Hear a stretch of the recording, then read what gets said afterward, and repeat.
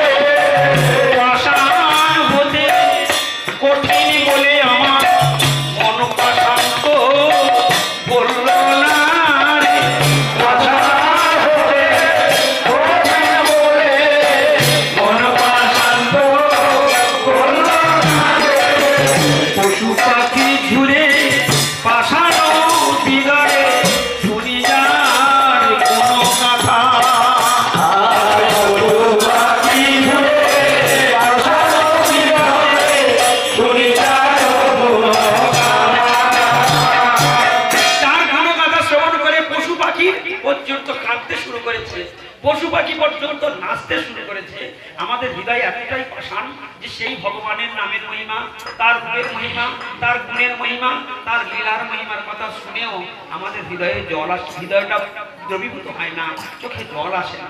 এই জন্য বলছে, ভক্তিটা কোথায় দেখা যাবে? যার চোখে জল আসে তবে জল কপট জল নয়। যে কোনটা কপট জল আর কোনটা সরলতার জল, কোনটা সত্যিকারের ভক্তির জল, সেগুলো ভগবান বিচার করতে পারে। কেন? ভগবান অন্তর অন্তর্জামী প্রত্যেকের হৃদয়ের সব খবর তিনি জানেন। কে কপট আর কে সরল? সব গোবিন্দ জানেন। তাই তো এখানে মহাজন ভক্তির ডেফিনেশন দিলেন। শাস্ত্রে বলছে, ভক্তিটা কীরকম জিনিস? ভক্তি এই, আমরা তো ভক্তি ভক্তি করি। ভক্তির বিষয়টা, বৈশিষ্ট্যটা কি সেটা জানতে হবে।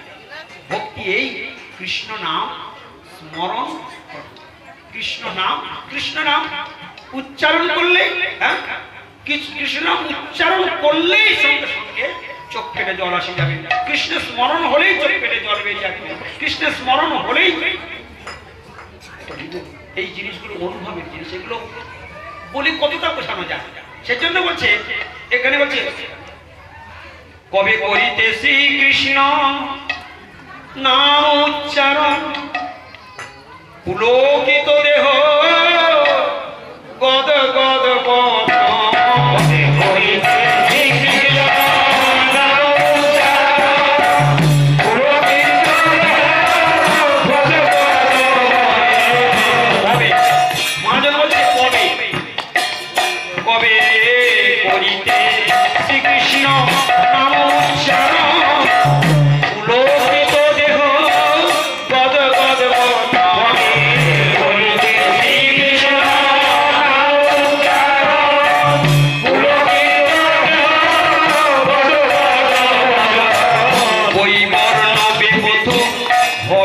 হবে সংগঠন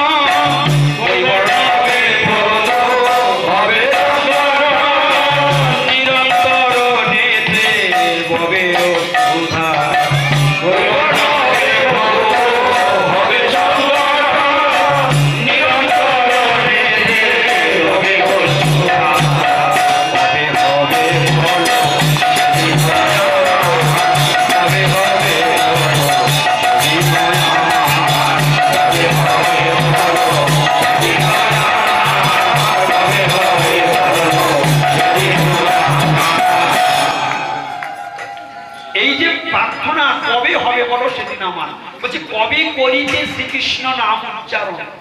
পুলকিত দেহ। যখনই কৃষ্ণ নাম উচ্চারণ হবে, সারা শরীর পুলকিত হয়ে এখন কি আমাদের নাম উচ্চারণ করে শরীর পুলক হয়? হয় না। কেন হয় না? মহারাজ বলে গেলেন যে আমাদের প্রচুর পরিমাণে অপরাধ আছে, তাই হয়। ভক্তিযোগ ভক্তিযোগ ভক্তিযোগ ধন, ভক্তি এই ভক্তি এই। কি সেটা?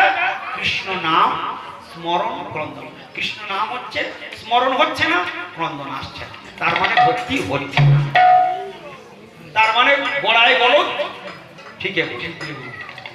গলায় বলো স্মরণ হচ্ছে না। আমরা কীর্তনে শুনি, শ্রীকৃষ্ণ কীর্তনে, কৃষ্ণ সংকীর্তনে, শ্রীকৃষ্ণ স্মরণে শতত মজিয়া শুনি নাই আমরা? কৃষ্ণ সংকীর্তনে শ্রীকৃষ্ণ স্মরণে শতত মজিয়া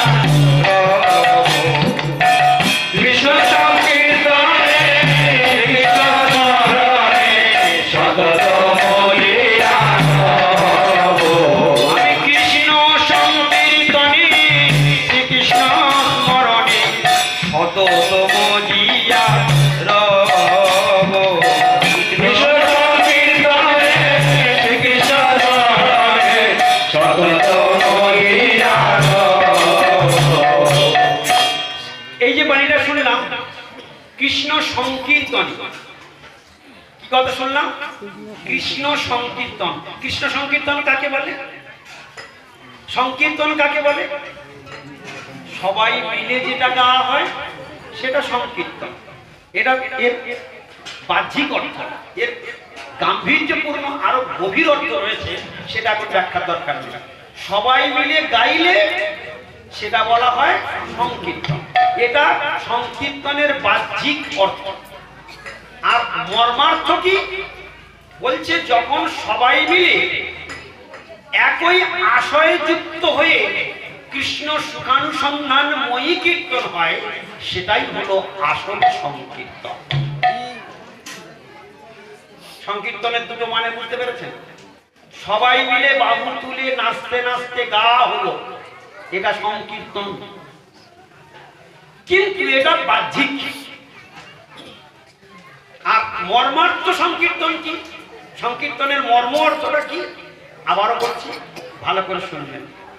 সবাই যখন একই আশয় যুক্ত হয়ে কৃষ্ণের সুখানুসন্ধানময়ী চেষ্টার বৃত্তি নিয়ে একসঙ্গে সবাই গায়, সেটাই হলো সংকীর্তন, যেটা কৃষ্ণের সুখ হয়, যেটা কৃষ্ণের শুনলে আনন্দ হয়, ওই হলো আসল সংকীর্তন।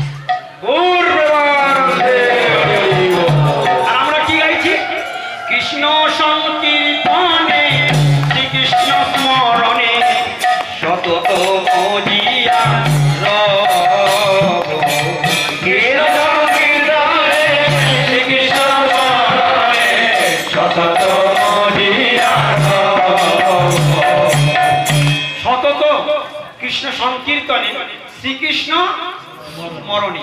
প্রত্যেকটা বাণীর মধ্যে একটা একটা বাণী যদি ব্যাখ্যা হয়, প্রত্যেকটা বাদাম, আমরা যে বাদাম আজকের একাদশীর দিনে বাদাম সকলে খাচ্ছি, বাদামটা কোথায় থাকে? খোলার মধ্যে থাকে। খোলাটা ছাড়া নিয়ে তারপরে কি বের হয়? তারপর বাদাম বের হয়, ঠিক কি না এখন একটা খোলার মধ্যে একটা বাদাম থাকতে পারে, দুটা বাদাম থাকতে পারে, তিনটা বাদাম থাকতে পারে। পারে কি এখানে প্রত্যেকটা মহাজনের প্রত্যেকটা বানই হচ্ছে বাদামের খোলার ছাড়ালে তবে অমৃত পাবে ওটা যদি তুমি না ভাঙতে শেখো, ওটা যদি তুমি না বুঝতে শেখো, ওটা যদি তুমি অনুভব না করো, তুমি কোনো দিন ভক্তি রাজ্যে অগ্রসর হতে পারবে। তাল হবে, সুর হবে, গান হবে, বাজনা হবে, নাচ হবে, ভক্তি হবে অথচ গোড়ায় গরজ হয়ে গেল। ভগবানকে কি দিয়ে বাঁধা যায়? তাল দিয়ে ভগবানকে মারতে পারবে? সুর দিয়ে ভগবানকে মারতে পারবে? তুমি যত কেরামতির গান করো না কেন, কৃষ্ণ শুনবে না।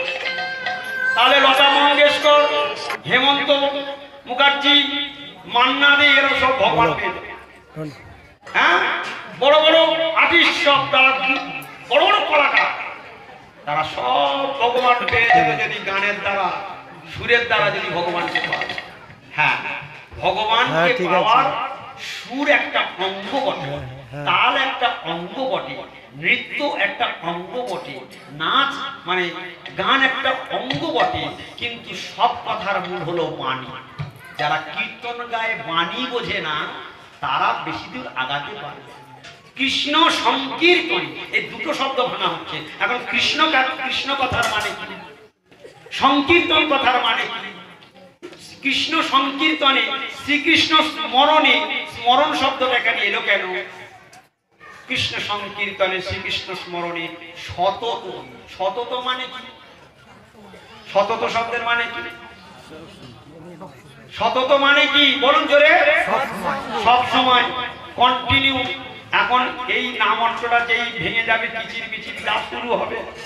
আমার বাবা উঠে এলে পারবে না। হ্যাঁ? কোথায় বসবে? দাঙ্গা ঝগড়া আরম্ভ করে দেবে। ঠিক কি না?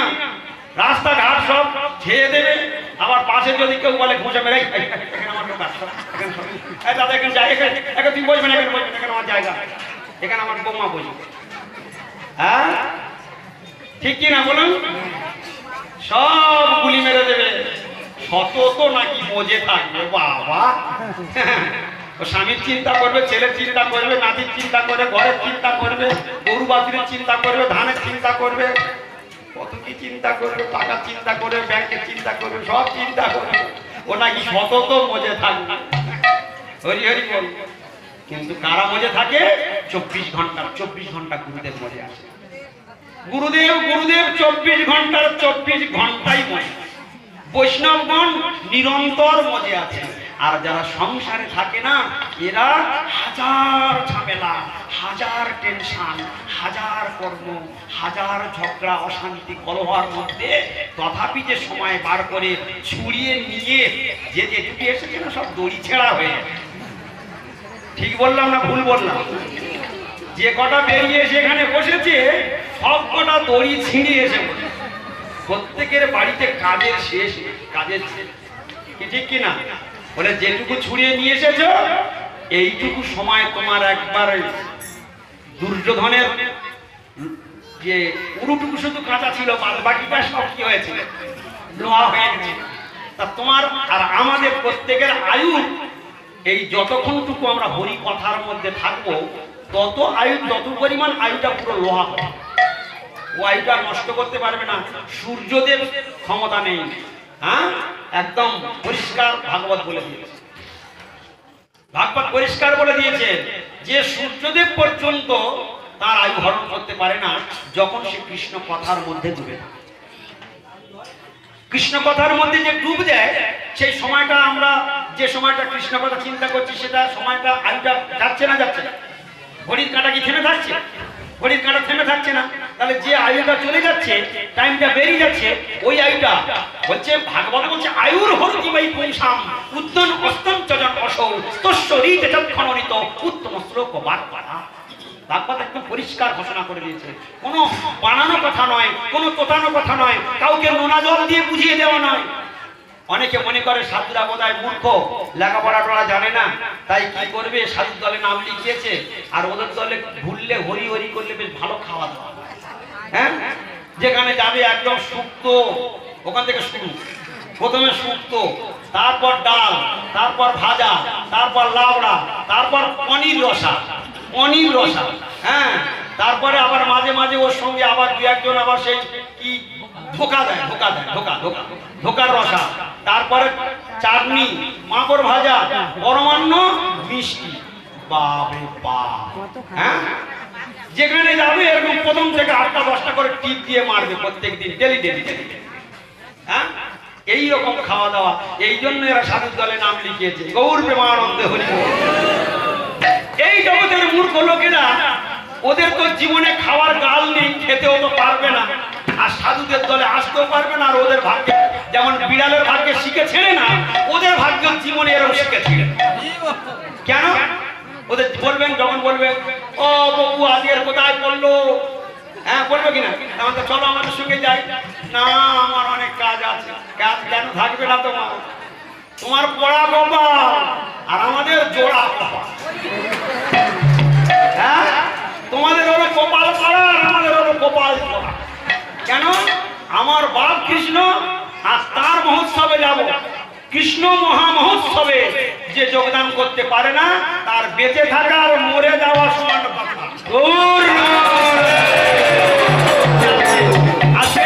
যার জায়গা হচ্ছে সে কৃষ্ণ যদি সুখী হয় আমাদের এই কথাগুলো যদি কৃষ্ণ কি কান করে শোনে কৃষ্ণ শুনছে? যদি কৃষ্ণ শুনছে। কৃষ্ণ যেখানে ভক্ত থাকে যেখানে তার কথা হয় কৃষ্ণ স্বয়ং সেখানে আবির্ভূত হয়ে যায়। সেই জন্য যারা এসব কথা বোঝে না, তারা জীবনে এ পথে আসবেও না। সেই জন্য প্রথমে চার ধরনের মানুষের কথা বলে দিয়েছে। চার ধরনের মানুষ কোনোদিন আমার ভজন করতে আর একটা কথা না বলে থাকতে পারছি না, যেটা হলো কিনা